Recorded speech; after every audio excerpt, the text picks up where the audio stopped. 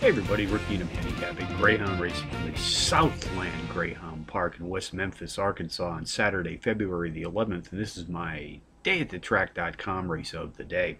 Let's take a look at race 7 this evening, folks, 8.45 p.m. Central Post Time. This is a grade double A affair, which means absolutely the best pups here at Southland are racing tonight. They'll be sprinting 583 yards.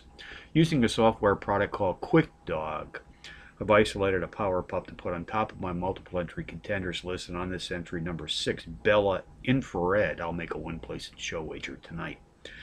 I also like to play the box exotics here at Southland, so along with number six this evening will be boxing number eight, Leverage, number one, Mavericks Buzz, and number five, CBJ, Love Me Tender, 6815 in the seventh from Southland. QuickDog software has helped me isolate a pair of very playable Power Pup long shots. I suggest a win place and show wagers on both of these entries. The first comes in race one, win place and show on a four to one shot. Number six, Nitro Psycho, and in race two, win place and show on a seven to one shot. Number six, Omar Rocky.